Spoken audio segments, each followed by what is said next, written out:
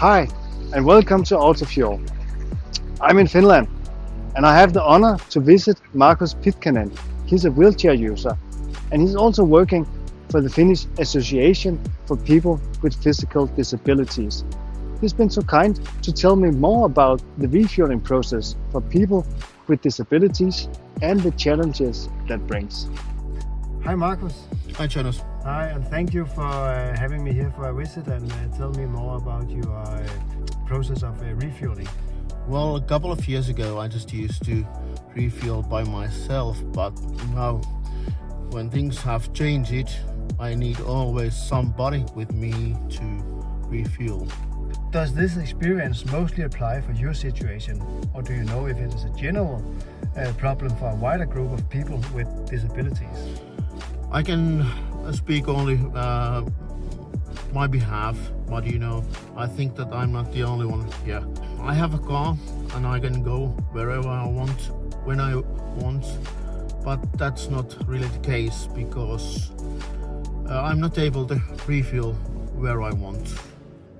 Without a mobile app, I'm not able to pay or or I'm not able to reach out the gas pistol. So so it's not so easy task to make a trip, for example.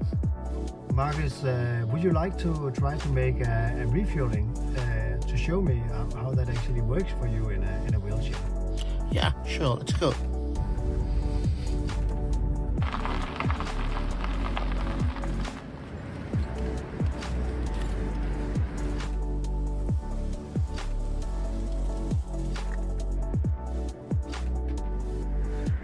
Stepping out of the car is a very demanding and time-consuming process for Markus.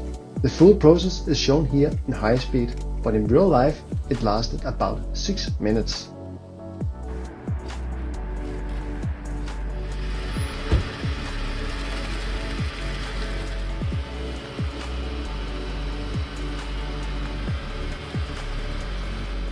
So here we are. I'm not able to reach out the pay payment um, system, so I have to use my phone and my app. Would you have been able to refuel here if you did not have the app? No. No, absolutely not.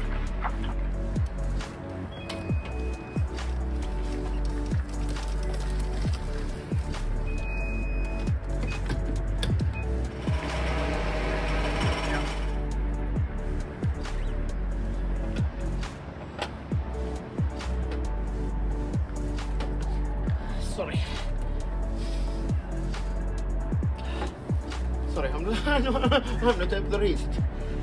Yeah, that's the case. Let's try.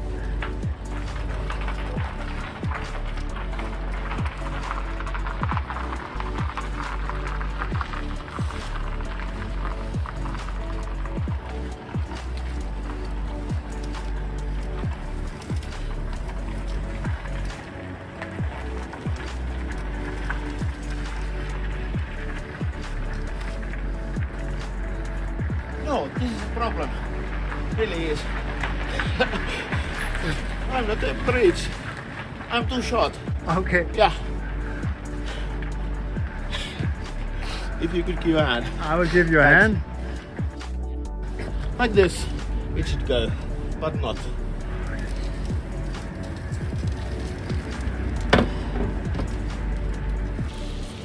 Stepping into the car is the same demanding process for Markus as stepping out of the car. This clip has been cut out to keep the length of the video down.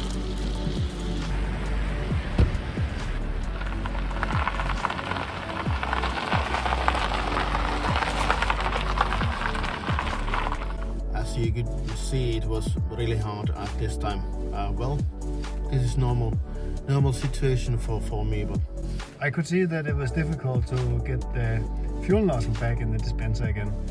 It was it was actually horrible and dangerous because because I had this uh, fuel pistol on, on, my lap and that, that is the situation where where I don't want to be.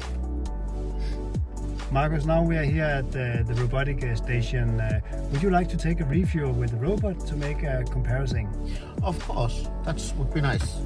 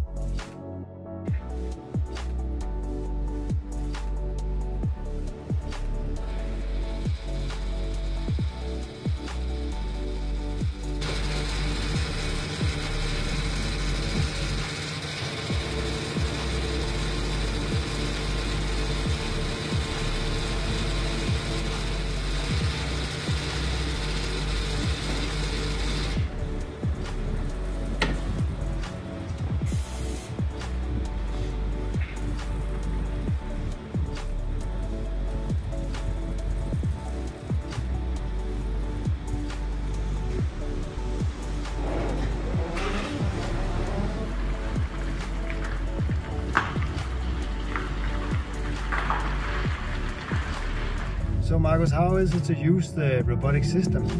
Actually, this was very um, nice experience for, for me. For, and for example, warm car, uh, no hassle, um, and there was no safety issues. This time I felt like an equal driver. So this is service for, for me. Do you think this could be a general help for people with disabilities or other physical challenges?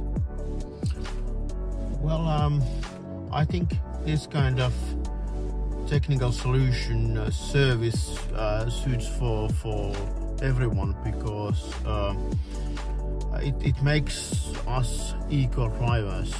Um, uh, you can you can feel uh, up uh, with disability or without disability, and it suits for young people, older people, and there is also also safety issues that, for example, night time, uh, it's it, mm, it's not possible always to get out from the car. So you stay in the car and you're safe.